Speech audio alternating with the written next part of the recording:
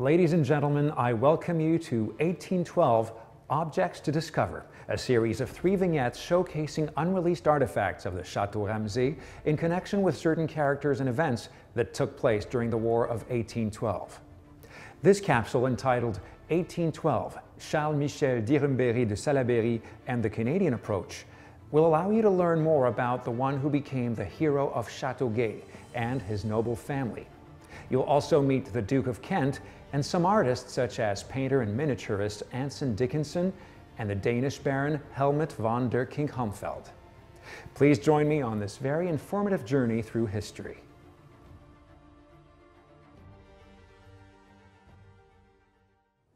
For the Canadian people, the War of 1812 is the story of the defense of the colony against the United States, this neighbor of a great power and a great confidence, as demonstrated by this quote from Jacob Klein, a 13-year-old Canadian. The American morale was very high, and when I said I was Canadian, one of the officers laughed and said, You'll soon be governed by the U.S. government, my boy.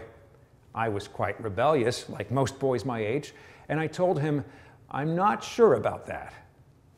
The War of 1812 is thus at a turning point in the history of our country, a defense that allowed the British North America to become an independent country. But we cannot address the heroic figures of 1812 without a look at Charles Michel d'Irumberry de Salaberry, hero of Chateauguay, and his noble family.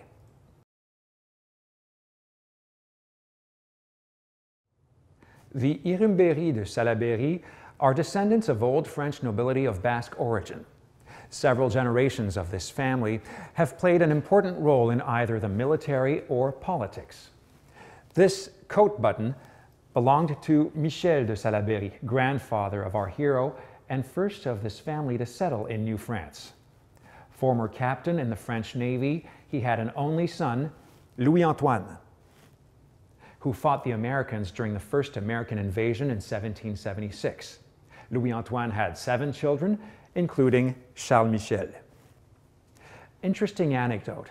Louis Antoine de Salaberry befriended Edward Augustus, Duke of Kent, son of King George III of Great Britain and father of the future Queen Victoria during his first visit to Canada in 1791.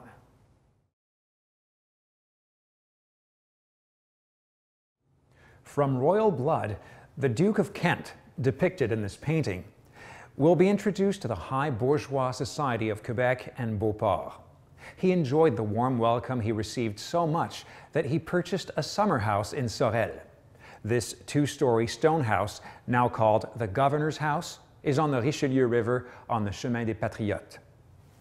Before leaving the country, the Duke promised Louis-Antoine de Salaberry that he would watch over the destiny of his four sons in England.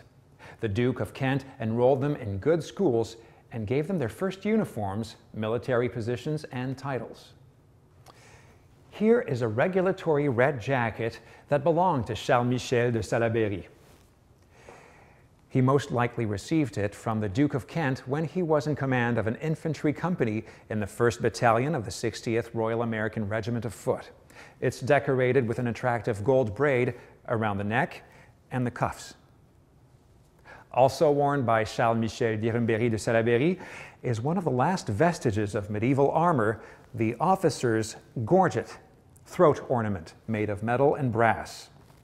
The middle bears an R, probably for royal, with the crown of England and the inscription Milice Canadienne. Chateau Ramezay also has a gorget that belonged to Charles Michel's father, Louis Antoine. Since gorgets were uncommon, it's likely that these two were given to the two men by the Duke of Kent.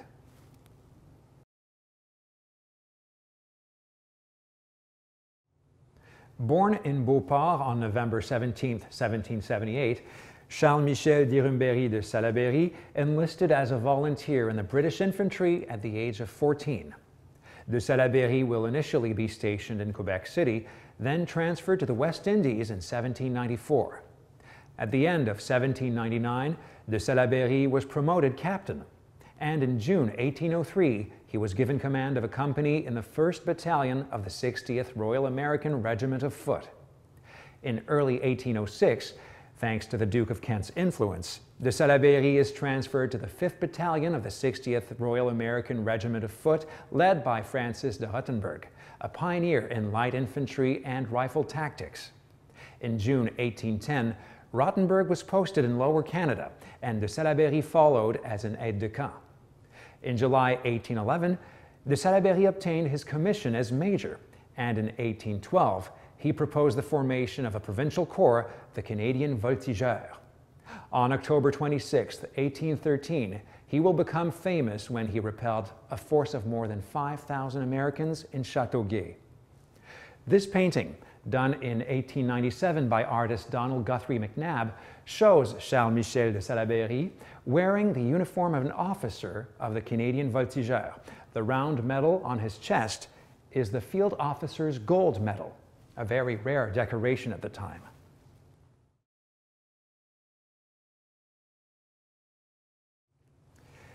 This watercolor on ivory miniature of Charles-Michel d'Irumberry de Salaberry was painted by Anson Dickinson in 1825.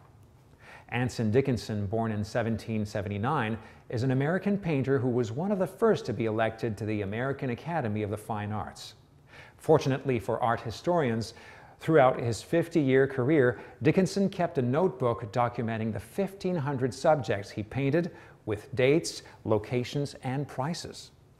Dickinson also produced miniatures of Louis-Antoine, Charles Michel's father, and Charles Michel's wife from an illustrious bourgeois family, Marianne Julie Hertel. These paintings are in carved, gilded wooden frames. In 1826, a large number of prints of de Salaberry were produced by New Yorker engraver Asher Brown Durand, based on the Salaberry miniature painted by Dickinson.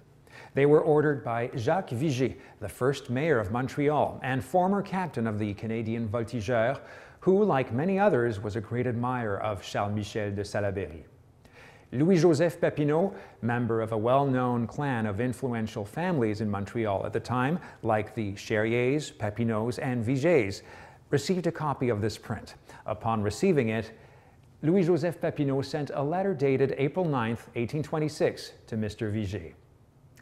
My dear sir, I am very pleased and grateful to receive this print from you portraying Colonel de Salaberry guiding his countrymen to the field of honor.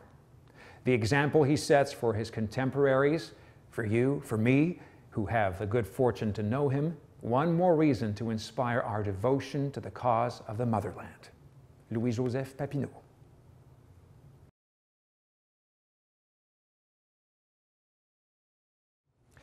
Here is a bicorn cocked hat made of beaver, silk, leather, cotton, gold wire, metal, and paperboard that belonged to Charles Michel de Salaberry, as we can see in this picture. It was probably worn during the Battle of Châteauguay. The bicorn is a hat whose brim forms two points. It was originally designed as riding headgear, but was part of officers' uniforms in many countries from the 18th to the 20th century.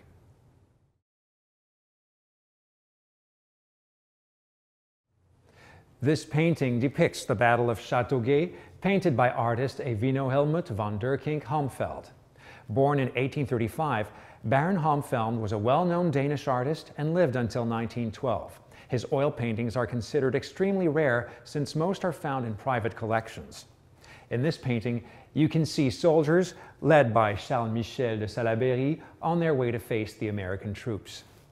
The Battle of Châteauguay took place on October 26, 1813, and is considered one of the great feats of arms in Canadian history.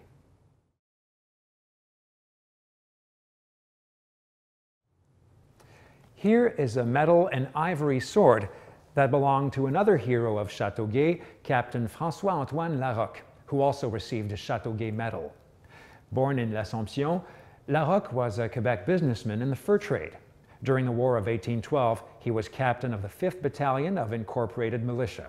This battalion was renamed the Canadian Chasseurs, which explains the inscription 5e Bataillon des Chasseurs Canadiens.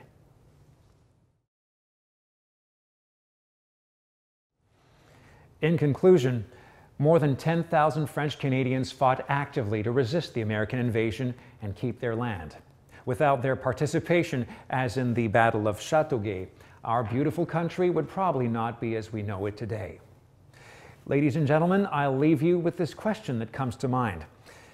According to you, did Charles Michel de Salaberry receive the honors he deserved?